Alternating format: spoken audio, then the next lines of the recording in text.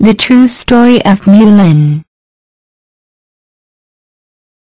In Han times, or perhaps Sui times, but certainly before Tang times, there lived a young girl named Mulan. Her father was a retired and famous general.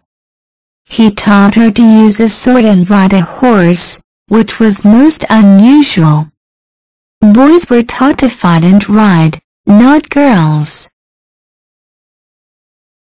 One day, the military posted scrolls in the village. The scroll announced that each family had to send one man to the army. Mulan's father was too old to fight, but too honorable not to go. Mulan had no older brother to send in his place. Her baby brother was brave and strong, but much too young to be selected. Girls did not fight in wars. If only she were a boy, Mulan thought to herself. It would be so simple. An idea grew in Mulan's mind. Could she do it? She had to. Mulan knew her father would die if he went to war again. That day, she bought a horse. The next morning, Mulan stole her father's armor and crept silently from home. Disguised as a man, she reported for duty to the military leader. Mulan fought for many years, some say as many as ten years. In all that time, no one knew that Mulan was a woman.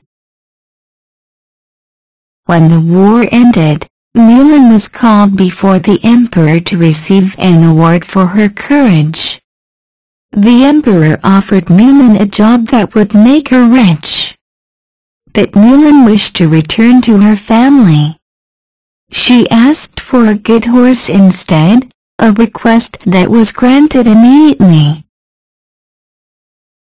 Her family was happy to see her. Her brother had grown into a fine young man. Mulan gave him her warrior's clothes.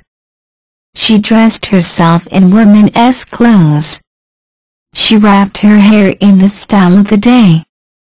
She added rouge to her cheeks. When she joined her family to watch the sunset, Mulan had transformed into a beautiful young woman. Not long after, friends who had served with Mulan came to visit. Their eyes grew large when they saw the beautiful woman before them. Her story spread across China, to inspire girls everywhere. If you love enough and have courage enough, you can accomplish anything, no matter how impossible it might seem.